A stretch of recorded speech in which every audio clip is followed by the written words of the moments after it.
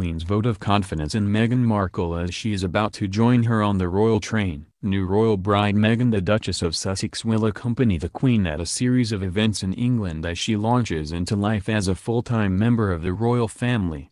In an extraordinary vote of confidence in the new Duchess, Queen Elizabeth is about to have Meghan join her aboard the royal train for an overnight trip to Cheshire, in northwest England.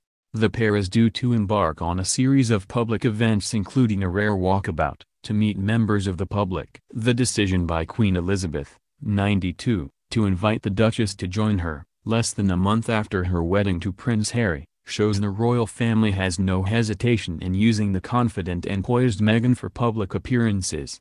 Prince William's wife Catherine didn't join the Queen on an outing until almost a year after her 2011 marriage when she traveled to Leicester with the Queen and Prince Philip. The pair's first event after disembarking the royal train will be to formally open the new Mersey Gateway Bridge, a six-lane tollway which has formed part of one of the UK's largest infrastructure projects in years. They are due to meet the architects and watch local schoolchildren perform before the Queen unveils a plaque to declare the bridge, which has been open to traffic since October last year, open. They are then scheduled to visit the Storyhouse Cultural Center in Chester, to meet a group helping Syrian refugees, watch a performance by a dance theater group for people recovering from addictions, and inspect a new children's library.